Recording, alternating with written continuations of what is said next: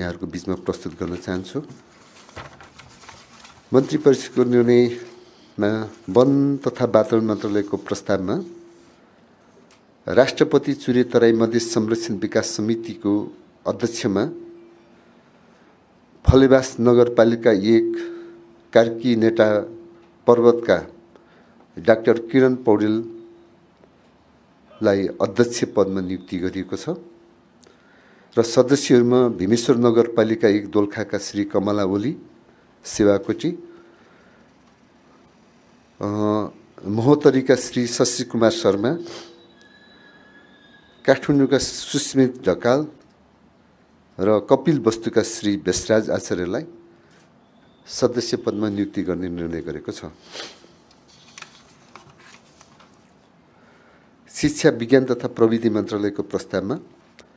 विदेशमा बस्ने नेपाली समुदायले वा ती समुदायका लागि काम गरिरहेका संस्थाले वा नेपाली पाठ्यक्रममा शिक्षण सिकाइ क्रियाकलाप सञ्चालन गर्न चाहनेले सम्बन्धित देशको कानुनअनुसार दर्ता गरी सञ्चालन गरेका विद्यालयमा माध्यमिक तहसम्मको पठन पाठन सञ्चालन गर्न माग भइआएमा त्यस्ता विद्यालयलाई नेपाली पाठ्यक्रमअनुसार पठन पाठन सञ्चालन गर्न शर्त अनुमति दिन शिक्षा विज्ञान तथा प्रविधि मन्त्रालयलाई स्वीकृति दिने निर्णय गरेको छ। शिक्षा विज्ञान तथा प्रविधि मन्त्रालयकै प्रस्तावमा त्रिभुवन विश्वविद्यालयको समितिमा रहेको किर्तिपुर स्थित परीक्षा नियन्त्रण कार्यालयको पश्चिमतर्फको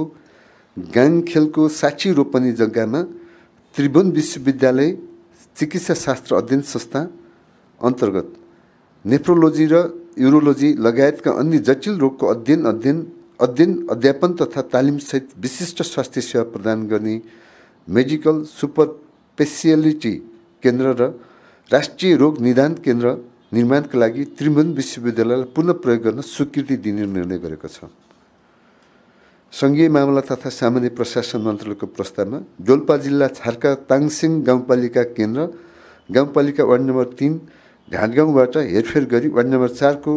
कागकोटमा कायम गर्न स्वीकृति दिने निर्णय गरेको छ। सङ्घीय मामला तथा सामान्य प्रशासन मन्त्रालयकै प्रस्तावमा बाँकी जिल्ला खजुरा गाउँपालिकाको केन्द्र गाउँपालिका वार्ड नम्बर चार बागेश्वरीबाट हेरफेर गरी वार्ड नम्बर तिनको बागमती नगरमा कायम गर्न स्वीकृति दिने निर्णय गरेको छ। सञ्चार तथा सूचना प्रविधि मन्त्रालयको प्रस्तावमा विज्ञापन बोर्डको अध्यक्ष पदमा पनौती नगरपालिका कार्य प्लान्चोक निवासी श्री लक्ष्मण हुमागाईलाई अध्यक्ष पदमा नियुक्ति गर्ने निर्णय गरेको छ। आजको मन्त्री परिषदको बैठकको निर्णय यहाँहरूको बिचमा यसरी राखेको छु र अर्को एउटा प्रस्तावमा नेपाल र ओमन सरकारबीच पर्यटन क्षेत्रमा सहयोग आदान प्रदान सम्बन्धी समझदारी पत्रमा हस्ताक्षर गर्ने स्वीकृति दिने निर्णय पनि गरेको छ। यिनै निर्णयहरूको मैले सार्वजनिक गर्दै यहाँहरूको हामी नयाँ वर्षको पनि प्रारम्भ हुँदा